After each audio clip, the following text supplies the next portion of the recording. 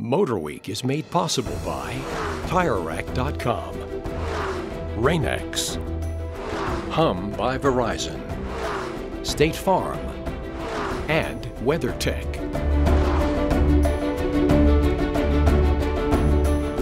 For 2019, Porsche is waving its makeover magic wand at the popular Macan compact SUV.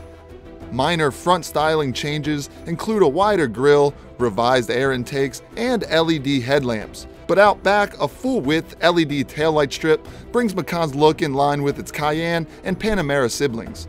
The Macan further accentuates its sporting character with styling tweaks that visually widen and lower the stance.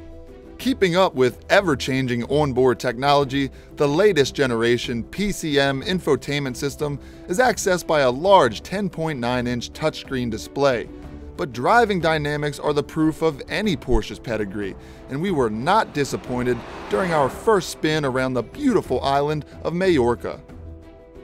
Macan is Porsche's best-selling vehicle, but it's no mass market sellout.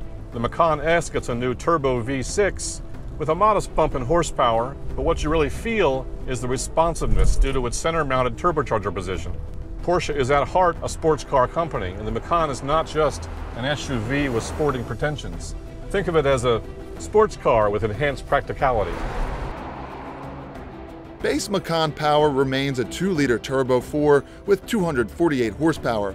Upgrading to the S's turbo V6 nets you 100 more ponies. Both engines mate to a 7-speed PDK dual-clutch automatic that's unequaled for quick, decisive gear changes in any situation. Add in a GT sport steering wheel, expanded comfort and assistance systems, and a finely tuned suspension with lighter components and more neutral handling, and you've got an unbeatable combo of sport and utility. The 2019 Porsche Macan will be on sale soon, starting at around $50,000. For more on this Macan, as well as other cars we've been driving, keep your TVs locked on MotorWeek.